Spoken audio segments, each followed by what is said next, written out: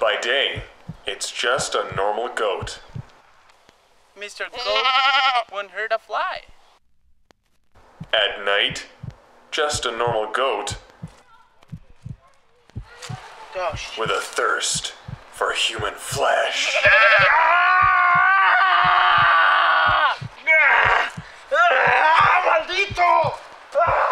Well, how do you explain that bandage on your arm then, sir? Oh, this was from my baby cat. My little Quiffy was around.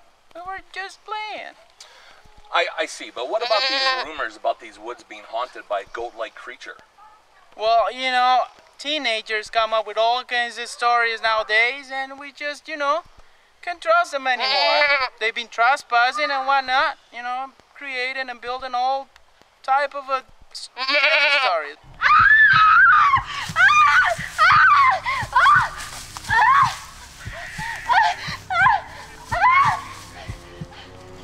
There have been three cases murdered in the last week around this area, all with the DNA evidence of a goat presence.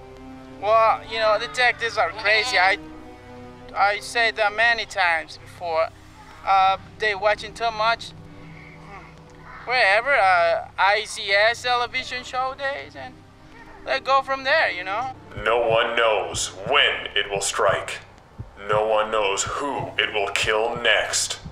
How did this goat turn into this monster? No one knows. But there is one thing we all know it's going to be bad. Better get out of my lawn before I sick this on you, alright? Okay, well, sorry, sir. Thank you very much. Thank you for your time.